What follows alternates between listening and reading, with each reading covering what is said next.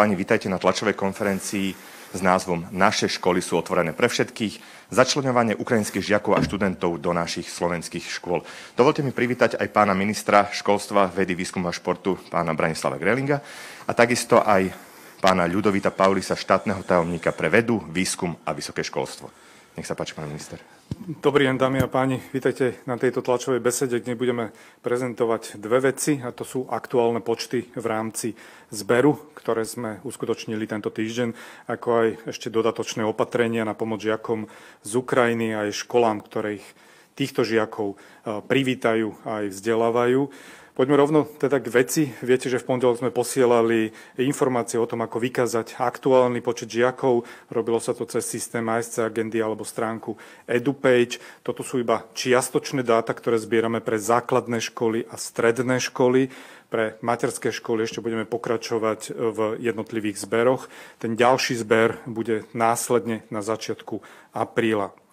K 16.3. sme na našich školách mali 1773 nových žiakov z Ukrajiny. Na základných školách to bolo 1663 žiakov, na stredných školách to bolo 140 žiakov. V rámci toho prerozdelenia najviac žiakov máme v Bratislavskom kraji a to je 547. Ostatné kraje sa hýbu v rozmedzi od 180 do 220 žiakov. Keďže tieto dáta máme k, stredu, k strede a jednotlivé e, dáta sa nám ešte načítavajú do systému od stredy, takže už teraz môžeme avizovať, že to číslo 1773 bude vyššie a kontinuálne asi bude ešte stále stúpať. Tie ďalšie dáta budeme mať, tak ako som hovoril, na začiatku apríla. Keďže to viete, že žiaci e, s rodinami utekajú pred vojnou a na e, Slovensko prišli bez čohokoľvek, nielen bez vecí, ktoré vlastne, ale aj pre nejakých tých základných vecí, ktoré by mohli využívať v rámci vzdelávania. Preto na základe tohto zberu automaticky pošleme školám jednorázový príspevok 200 eur na každého jedného žiaka z Ukrajiny na základné školy a stredné školy.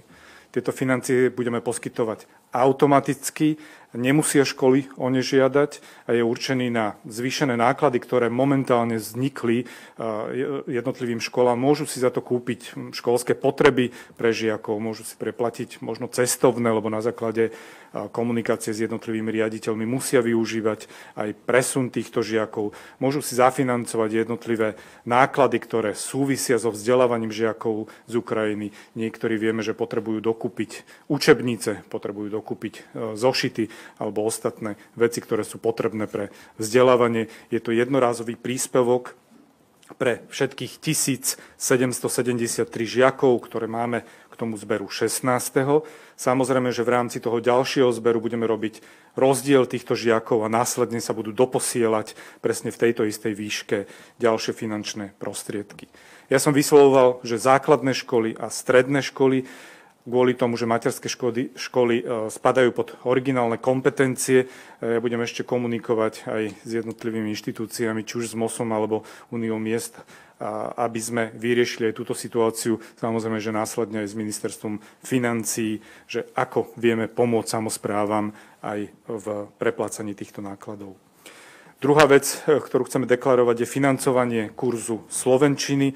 Určite viete, že pri vzdelávaní žiakov nie len z Ukrajiny, ale aj zo zahraničia všeobecne si školy nastavujú jazykový kurz pre žiakov, ten bežný proces je, že po dohode s regionálnym úradom školskej správy sa určí zamestnanec, ktorý bude deti zo zahraničia vyučovať slovenský jazyk a následne tento kurz slovenčiny budeme preplácať. Škola bude požadovať ministerstvo financovanie tohto kurzu slovenčiny slovenského jazyka na mzdy zamestnanca cez dohadovacie konanie. Tieto informácie už máme zverejnené na webovej stránke ministerstva, že ako bude prebiehať. Je to v tej časti normatívne financovanie, dohadovacie konanie 2022. Ak by si to pani riaditeľi ešte doteraz nevšimli, tak ich na to upozorňujeme. Samozrejme, že regionálnemu úradu školskej správy budú každý mesiac predkladať tieto žiadosti o financie na jazykové kurzy, pre školy a zriadovateľ potom vo svojej pôsobnosti. Všetky tieto kurzy sme samozrejme pripravení školám finančne vykryť.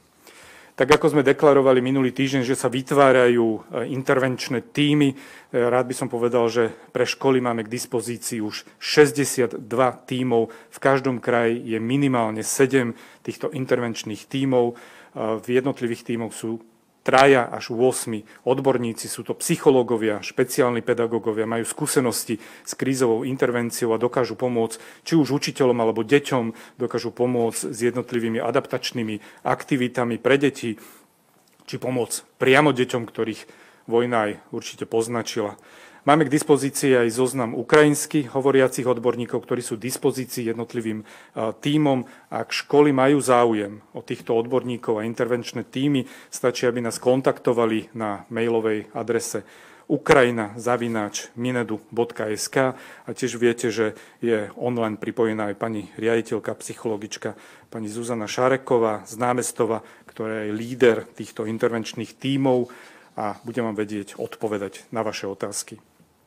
To je zatiaľ všetko, čo sa týka regionálneho školstva. Ja by som poprosil o, vyslovenie pomoci pre vysoké školstvo v rámci e, tejto situácie. Ďakujem pekne, dobré ráno. Ja by som sa ne, nesústredil len na tú pomoc, ale ešte aj na druh, druhý aspekt, ktorý, ktorý s tým súvisí, a teda aj nejaké tie sankcie alebo nejakú tú deklaráciu toho, ako Slovensko vníma túto situáciu. Čiže, a zasta, e, začal by som tam. Ehm, takže na základe toho my e, prerušujeme e, spoluprácu s Ruskou federáciou v oblasti vedy, výskumu, výmeny študentov, takisto aj s inštitúciami, ktoré priamo patria Ruskej federácii. To znamená, že bilaterálne projekty, ktoré, ktoré boli dohodnuté, nebudú, nebudú financované. Takisto nebudeme posielať vládnych štipendistov, alebo nominácie vládnych štipendistov smerom do Ruska a e, takisto ani e, vládnych štipendistov e, smerom, smerom z Ruska. Tie financie, ktoré týmto spôsobom sa uvoľnia, budú použité na podporu bilaterálnych projektov s Ukrajinou alebo v rámci všeobecnej výzvy APVV na podporu zamestnávania ukrajinských vedcov. Tam sa, tam sa doľaďuje konkrétna, konkrétna forma podpory. Čo sa týka vysokých škôl e, ako takých, tak e, tam sme pripravili zatiaľ e, takú prvú vlnu, prvý, prvý balík, ktorý zahrňa dve formy podpory. Jedno je vyčlenenie 1 milióna 875 tisíc na podporu príjmania nových študentov zasiahnutých konfliktom, čiže je to podpora zhruba pre 750 tisíc študentov, teda 750 až 1000 študentov vo výške 2000-2500 eur na študenta, na ten, na ten teda polorok a e, budú si to môcť školy refundovať aj spätne pre študentov prijatých po 24. februári. E, to je, to je jedno to opatrenie a môžu to použiť na úhradu nákladov, ktoré im vzniknú a ktoré oni si sami nejakým spôsobom nastavia, e, či už, či už je to v oblasti bytného, školného alebo, e, alebo zabezpečenia nejakej podpory pre týchto študentov. Potom ešte zvlášť e, v rámci rozvojových projektov 2,4 milióna je vyčlenených na podporu centier jazykovej prípravy a poradenských služieb.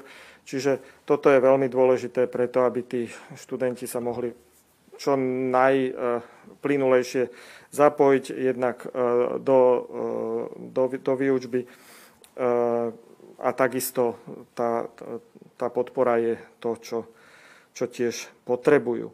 Okrem toho sme samozrejme v pravidelnom kontakte s vysokými školami. My máme telekonferenciu raz týždenne. Ja sa aj tiež snažím zúčastňovať, keď, keď to je len možné. Čiže tam si vymieňame nejaké rôzne usmernenia, je tam aj zástupca z krízového štábu, takže ten vie tiež e, prepájať to na aktivity, ktoré robí ministerstvo, ministerstvo vnútra. E, z týchto stretnutí vyplynuli aj nejaké legislatívne zmeny, ktoré, ktoré je potrebné spraviť. E, tá prvá časť z nich je už pripravená vo vysokoškolskom zákone alebo v novele vysokoškolského zákona a rieši napríklad to, akým spôsobom príjmať študentov, keď teda nemajú, nemajú za sebou maturitný, e, maturitný doklad, Ďalej rieši to, že zahrnie štipen, do sociálnych štipendií aj študentov postihnutých, postihnutých tým konfliktom. Takisto títo študenti nebudú musieť e, platiť za anglické študijné programy, ale tieto e, budú môcť byť zahrnuté do dotácie. Podobný mechanizmus v podstate, ako je to v prípade, e, v prípade vládnych, vládnych štipendistov. Tiež, keď, budú, keď prídu na akademickú mobilitu, nemusia predkladať zo zákona doklady o doterajšom štúdiu, čiže je to na tej vysokej škole, akým spôsobom ich zaradí a akým spôsobom si to overí. No a e, tiež je e, v parlamente, myslím, že včera prešiel prvým čítaním zákon o uznávaní dokladov, kde sa e, pripravujú ďalšie zjednodušenia. Tieto sa ešte, ešte rozšíria zrejme v rámci druhého čítania. A tiež Fondu pre podporu vzdelávania, kde opäť sa sprístupnia nejaké možnosti aj pre osoby, ktorým bolo priznané to dočasné, dočasné útočisko. Ďakujem pekne. To boli tie základné informácie ohľadom e, pomoci. Dovolte mi ešte e, tri veci, ktoré sú dôležité, na ktoré sme dostávali za ostatné týždne najviac otázok. Zvyčajne tá otázka bola, že čo keď škola nemá kapacitu na príjmanie detí z Ukrajiny. Musíme povedať, že po týchto týždňoch tento problém v praxi, čo sa týka základných škôl a stredných škôl, je naozaj veľmi zriedkavý, pretože drvivá väčšina škôl na Slovensku tie voľné kapacity má. Viete, že e, základné školy to rozmedzie podľa ročníkov je od 24 do 29, pri stredných školách je to 31 žiakov, ktoré si ešte môžu navýšiť od troch ďalších žiakov. Ak vznikne ale potreba vytvárať novú triedu iba na to prechodné obdobie, škola nám, nás môže kontaktovať a my následne budeme pripravení vykryť jednotlivé náklady, ak by takáto situácia sa stala. Čo sa týka maturity, z e, Ukrajincov, ktorí prídu na Slovensko. Túto otázku riešime so Zakarpatským inštitútom postgraduálneho vzdelávania pedagógov, ako aj s Ukrajinským ministerstvom školstva. Maturanti z Ukrajiny nemôžu vzhľadom na jazykovú bariéru maturovať u nás zo slovenského jazyka a literatúry. A preto diskutujeme, že ako môže prebehnúť tento akt. Ministerstvo e, školstva v Ukrajine pripravuje niekoľko alternatív. Následne budú tieto alternatívy prezentovať a my tú informáciu budeme posúvať aj maturantov, maturantom, ktorí sú momentálne na Slovensku. Druhá tá najčastejšia otázka, ktorá je, keďže do budúceho týždňa sa musia dať prihlášky na strednú školu, tu vystáva taký veľmi e, taký hlavný problém, že každý rok e, pred príjimačkami je určený plán výkonov. To znamená, že my vieme, koľko detí asi približne z 9. ročníka príde na stredné školy a na základe toho sa prerozdeľujú školám jednotlivé e, čísla Následne prebieha ešte ten celý proces so zriadovateľmi a sú určené e, čísla pre jednotlivé školy. Ak by sa teraz stalo, že by napríklad prišlo 500, 700 alebo 1000 e, deviatakov, ktorí by prišli na, základ, na stredné školy, nemohli by robiť príjmacie pohovory kvôli Slovenčine. Ja možno pre zaujímavosť poviem, že momentálne k tej strede evidujeme 143 deviatakov, ktorých budeme individuálne riešiť. A kvôli tomu, aby nenastali problémy, keďže musia dať, príjma, musia dať prihlášky v následujúcich dňoch, ale rejiteľe ešte nepoznajú tieto deti, nevedia s nimi presne komunikovať, nevedia, ako majú záujem. Preto chceme usmerniť školy tým spôsobom, že žiaci z Ukrajiny by si do 20. marca, keď je stanovený termín, nemali podávať prihlášky na stredné školy, Následne, keď prebehne celý proces a k, k 18. mája bude uzatvorený tento proces príjmania všetkých žiakov, tak budeme vedieť, kde sú voľné kapacity.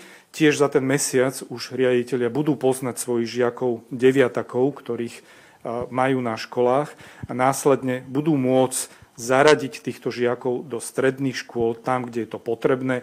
My budeme v tomto veľmi súčinní a myslím si, že momentálne, keby za týchto pár dní po tých dvoch, troch týždňoch, ktoré sú deviatáci, tých 143 deviatakov na základných školách, aby si dali niekde prihlášky, asi nebude úplne férové voči ním, preto chceme byť takto ústretoví, že ten proces budeme vedieť riešiť individuálne.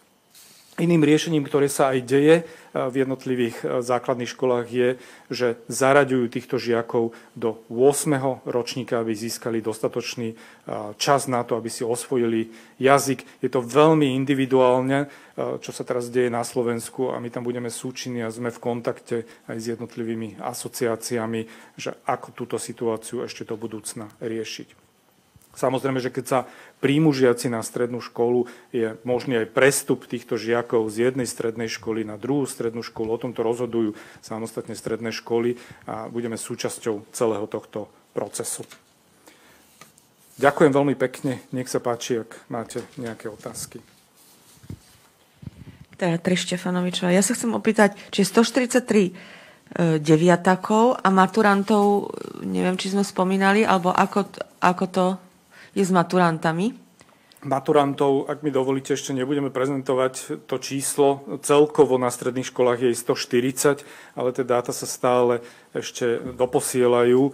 Neviem vám teraz presne odpovedať, že koľko desiatok z tých 140, predpokladám, že niekde okolo 20-25, ale to je naozaj momentálne iba o dát. Áno, a tie počty učiteľov, záujemcov prípadne už máme nejak ja som deklaroval, že nám na ministerstvo e, prišiel záujem od 11 Eh, učiteľov. Samozrejme, že eh, sa začali ozývať jednotlivé, či už školy alebo zriadovateľia, že majú ešte nejakých učiteľov, my ich budeme všetkých usmerňovať, ale nemáme ten celkový zber, že koľko je záujem eh, o zamestnanie učiteľov. A vieme povedať, kedy možno naozaj, že presne by už mohli nastúpiť do tých škôl? Ako dlho trvá ten proces alebo to čestné vyhlásenie, kým sa tá odborná komisia stretne? Alebo... Zákon predpokladám, že bude schválený v nasledujúcich dňoch. Predpokladám, že možno pondelok, respektíve teda útorok a následne bude podpísaný prezidentkou a zverejnený. O to začne celý tento proces čestného vyhlásenia, ako aj odborného posudku. My potrebujeme ešte e, výhlášku ministerstva zdravotníctva, kde komunikuje naša pani štátna tajomnička Sitová s ministerstvom zdravotníctva. Ja predpokladám, že budúci týždeň už budeme mať aj výhlášku s jednotlivými kritériami. Možno ten odhad je niekde do nejakých dvoch, troch týždňoch už by vedeli zamestnať prvých či už učiteľov alebo asistentov učiteľov do našich škôl. Luciana Deva, Radiožurnál. Pán minister, bude sa vzťahovať povinná predškolská dochádzka na 5-ročné deti z Ukrajiny? Je to automatické u nás zo zákona, ako náhle budú mať jednotlivé e, doklady, tak e, spada do toho aj povinné predprímané vzdelávanie od 5 rokov. Ja som sa nevenoval na tejto tlačovej konferencii materským školám. Potrebujeme si tam ešte e, navzájom ujasniť jednotlivé postoje, či už s ministerstvom financií, alebo s jednotlivými inštitúciami, s MOSom a Úniou miest, aby sme vedeli povedať, ako budeme usmerňovať. Samozrejme, že máme jeden aj strategický plán, aby sme vedeli vytvoriť ďalšie voľné voľné miesta v rámci materských škôl už k 1. septembru tohto roku, ak ten nápor príde. Dobrý deň, Lucia Haxer, deň Pravda. Ja som sa chcela opýtať uh, ohľadom týchto kurzov Slovenčiny. Uh, spomínali ste, ako ich budete financovať. Chcela som sa spýtať, teda, či už nejaké prebiehajú tieto kurzy jazyka a prípadne kto ich organizuje. Organizujú ich školy cez regionálne úrady štátnej školskej správy a samozrejme, že fungujú, pretože máme začlenených už žiakov zo zahraničia, ktorí majú tieto kurzy slovenčiny a následne budú pokračovať ďalej a predpokladám, že ich bude stále viac a viac, keďže momentálne máme umiestnených žiakov niekde do 400 základných školách, tak tam budú prebiehať tieto jazykové kurzy. Je predpoklad, že niektoré základné školy v rámci miest sa samozrejme, že spájajú a títo žiaci sú v rámci toho jazykového kurzu vzdelávaní spoločne.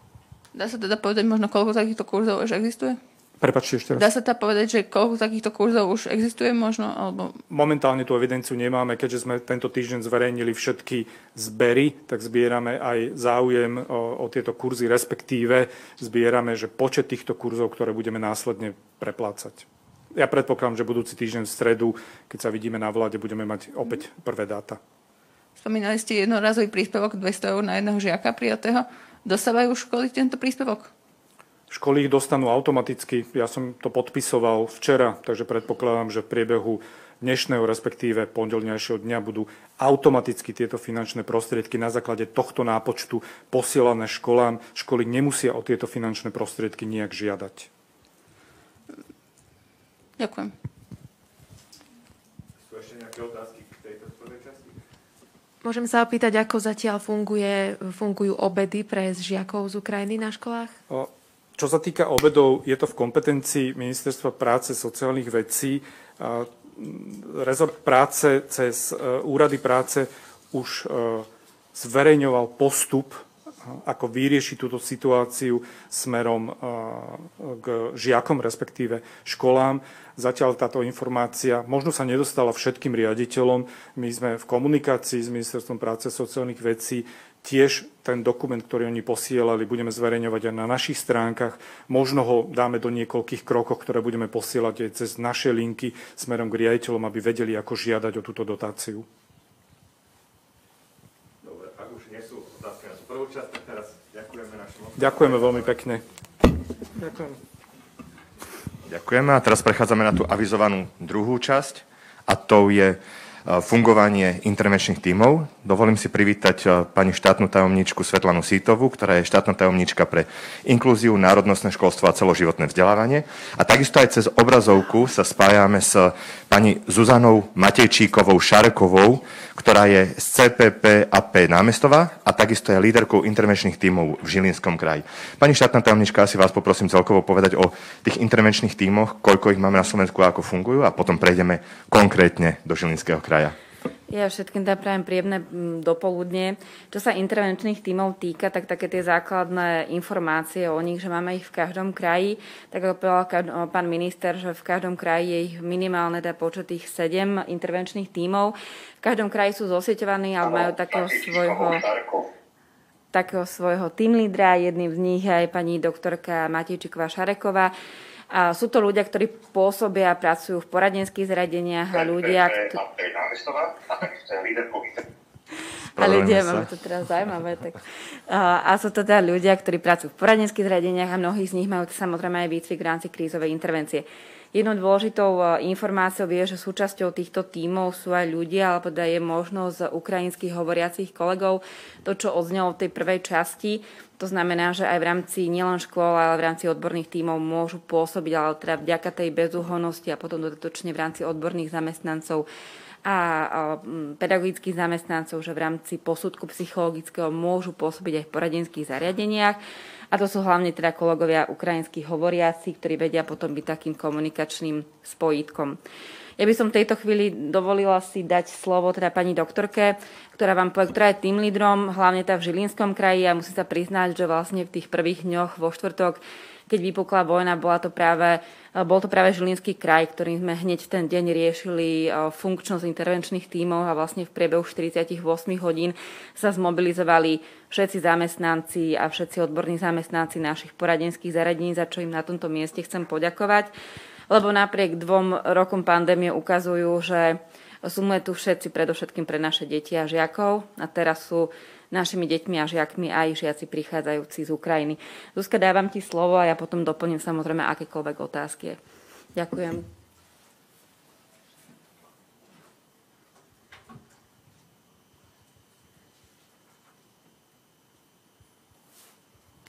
Je tam mierny sklz časový, takže počuje nás.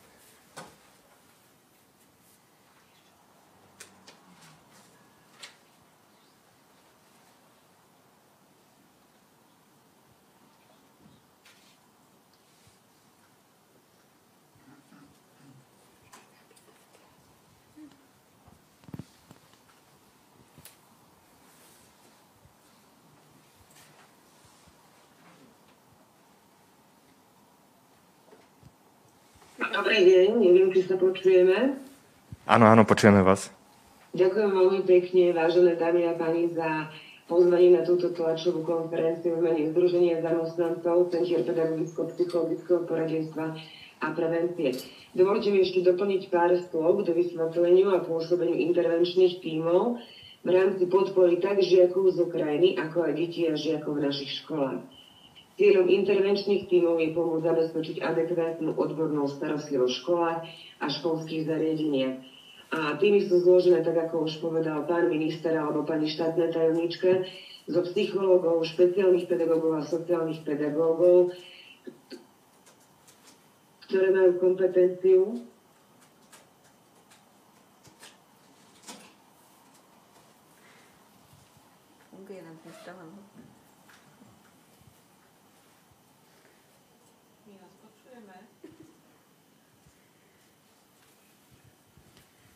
Zuzka, môžeš pokračovať, ak sa nás počuješ aj ty?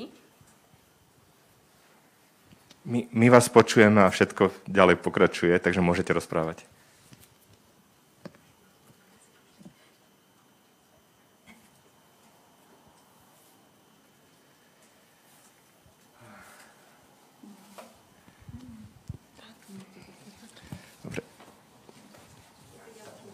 Neviem, či sa počujeme zabezpečovať odbornú starostlivosť a podporu, či už individuálne alebo skupinou stredných kolektívov.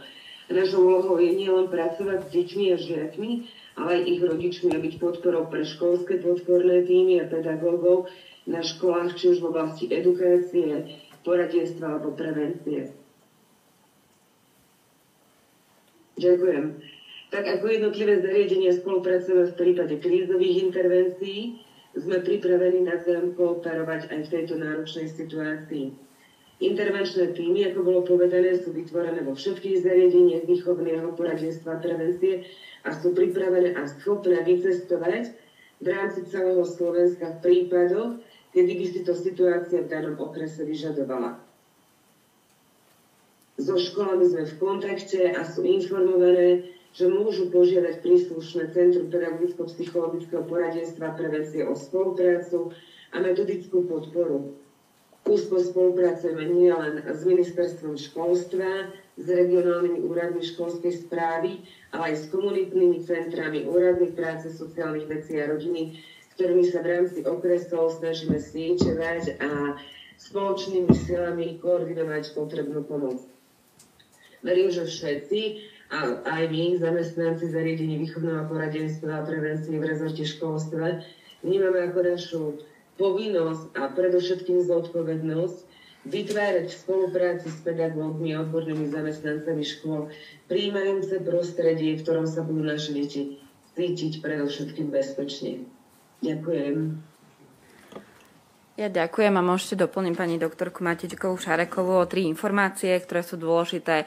Teda som riaditeľom alebo som rodičom, ktorý e, cíti, že nielen ten kolektív triedy štandardné, alebo napríklad som rodič, ktorý prichádza do školy a cíti, že potrebuje túto podporu, alebo teda riaditeľ, učiteľ, ktokoľvek môže kontaktovať. V prvom rade, ako už odznelo, že najbližšie Centrum pedagogicko-psychologického poradenstva a prevencie. Alebo Centrum je, že nekontaktuje sa, je napríklad, sú kolegovia, ktorí sú uh, zaťažení pracovne, majú toho veľa. Druhý moment je, že môže riaditeľ školy kontaktovať regionálny úrad školskej správy a asi to, čo je najjednoduchšie a najzapamätateľnejšie v tejto chvíli je kontaktovať linku alebo teda mail ukrajina.minedu.sk, kde už ako povedala pani doktorka, my na týždennej báze komunikujeme nielen s intervenčnými týmami, ale aj s jednotlivými regionálnymi úradmi školskej správy a od tohto týždňa týždňa, teda aj neziskovým sektorom alebo mimovládnym sektorom, ktorý pôsobí na hraniciach, aby jednotlivá činnosť bola koordinovaná.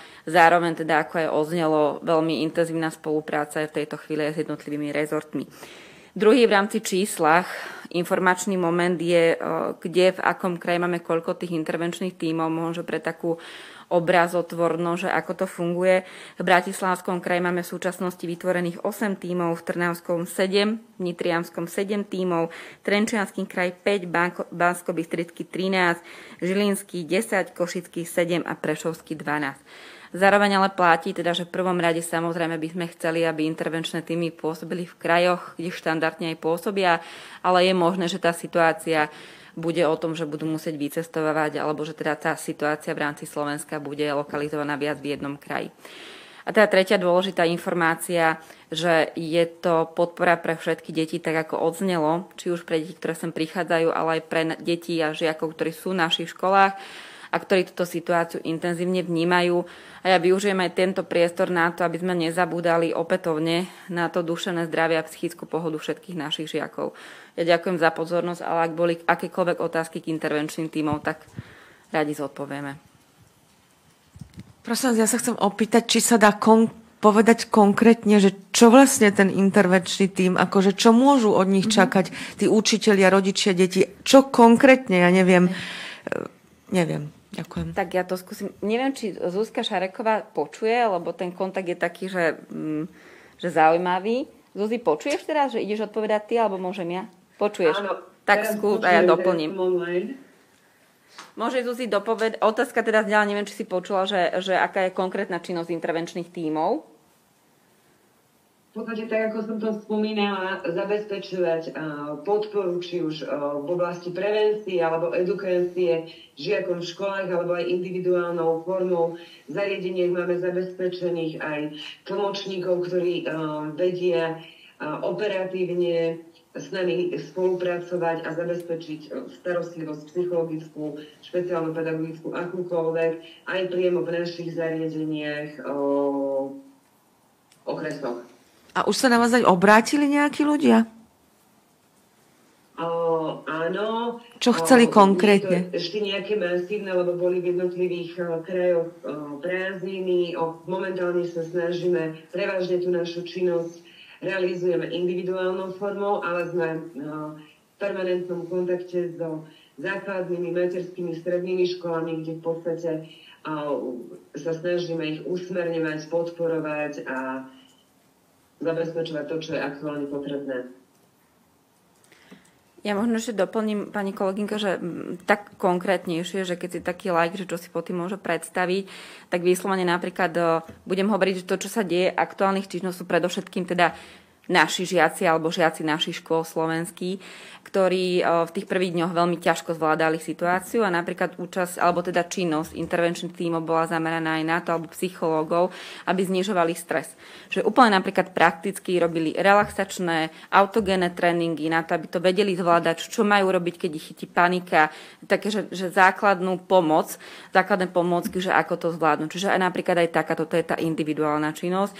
A potom, čo sa dialo napríklad v triedách, tak eh, psychológovia išli do triedy a prosím som, ja viem, že keď poviem, že hry, ale naozaj prosím som hier a aktivít, uh, rozoberali napríklad tú rôznorodosť, čo robiť, keď na základe hry príde do triedy uh, žiak, ktorému napríklad nerozumiem, ako môžem komunikovať tým žiakom, čo si môžem na ňom všímať. Napríklad v rámci tých hier si predstavte to, že hľadajú spoločné znaky. Príde tam niekto úplne nový, kto má absolútne inú jazykovú výbavu a hľadáme, čo máme spoločné. Potrebujeme veľmi tú solidárnosť a, a empatiu v školách vlastne našich žiakov. Oni sú úžasní empatickí, ale ich trošku aj učiť, ako napríklad reagovať aj to, že prichádzajú nám mladí ľudia, deti, ktoré napríklad prichádzajú úplne z inej kultúrnej krajiny, ktoré majú iné zvyky a tradície, čiže ich učíme jednak nastavenie na tú inakosť a jednak samozrejme aj veľmi silné psychoterapeutické rôzne hry a aktivity, aby to celé zvládli. A potom tá tretia, čo sa teda aj v posledných týždňoch dialo, je práca alebo podpora pre učiteľov v našich školách z pozície teda mm, intervenčných tímov, ale aj poradenských tímov v rámci Centier pedagogicko-psychologického poradenstva a prevencie, že vedeli prísť do školy alebo aj vedia prísť do školy a vlastne pracovať s tým kolektívom pedagógov, lebo samozrejme aj oni sú v novej pozícii. Napríklad, že čo si všímať, že ja mám v triede skupinu 20-25 žiakov a teraz ako si ja v tej skupine štandardne môžem všimnúť nejaké znaky, že sa niečo deje, že jeden z tých žiakov to napríklad prežíva, prežíva náročnejšie, aby som ja ako učiteľ potom mohol toho kolegu sporadne zavolať a kontaktovať. Uh-huh. Aby som sa ešte chcela opýtať, um, neviem, pán minister už asi odišiel, že? Ja, ja, že dnes vyšla taká informácia, že v Polsku sa vracajú do povinného vzdelávania také predmety ako že prvá pomoc a dokonca strelba na strelnici alebo také niečo. Uh, že či sa možno aj vzhľadom na situáciu bude uvažovať niečo aj v našom takom systéme vzdelávacom, že by pribudli možno nejaké takéto predmety. A potom ešte mám od kolegu dve otázky mi poslal. Tak. Áno. Na tú prvú môžem teda odpovedať aj ja, že my, my aj keď máme všetci zakodované, že to je zrušené, nie je to zrušené. Ono, vlastne tá bezpeč- zdravia bezpečnosť na školách sa u nás učí, sú tzv. Že účelové cvičenia. Jednak teda prvé je to v rámci štátneho vzdelávacieho programu v prierezových témach. A, a druhá vec, že naozaj máme také tie účelové cvičenia, keď si predstavíme, že možno už teda nechodia tí naši žiaci, ako napríklad teda môj ročník, že sme chodili v maskách a, a bežali, že ako to zvládneme, ale naozaj to účelové cvičenie, ako je bezpečnosť a starostlivosť o zdravie, je realizované aj v našich školách. A ja len doplním, že s tým, že aktuálne prebieha obrovská kurikulárna reforma obsahu zmien a teda aj to, čo sa naše deti učia, ako sa učia, tak v rámci jednotlivých kurikulárnych komisí zameraných na jednotlivé predmety je samozrejme aj táto otázka na stole. A možno teraz je len na nás všetkých, lebo toto je kurikulárna reforma, ktorá sa realizuje spolu s vami všetkými, našimi divákmi, pedagógmi, čiže jednotlivé tie časti sa môžu pripomienkovať a vnikať a možno áno, možno niektoré veci sa budú meniť aj v vplyvom toho, čo sa v súčasnosti deje. Áno, a ešte, ak dovolíte, poslal mi kolega otázky dve. Neplánujete znížiť poplatky za odborné skúšky pre lekárov z tretich krajín? Sú pre nich vysoké. Viacerí nemajú doklady, ktoré potrebujú pre uznanie diplomov, ak chcú pracovať v našom zdravotníckom systéme. Čo s tým? Ďakujem. My tu máme takú paralelu, lebo toto sú presne tie otázky, ktoré, ktoré, pre ktoré tu stal pán minister s pánom štátnym Pavlisom. Ja iba poviem, že na toto sa pripravujú legislatívne zmeny aj v, sú, sú, súčinnosti s tým, že máme v Národnej rade teda vysokoškolský zákon, ale myslím, že čo sa týka uznávania jednotlivých dokladov a štúdia, tak to potom kľudne ešte pán štátny vám dopovie. Ale áno, týkajú, chystajú sa rôzne aj legislatívno-technické zmeny v rámci tohto. Ďakujem. Ja by som len doplnil, že je to dané v zákone, tieto poplatky, a rokuje sa s ministerstvom vnútra, aby sa nejaká úprava nastavila. Mhm. Dobre. Nech sa páči ďalšie otázky. Ak nie sú, tak vám ďakujeme pekne. Ďakujem aj pani doktor. A ja ďakujem. Pokojný víkend prajem všetkým.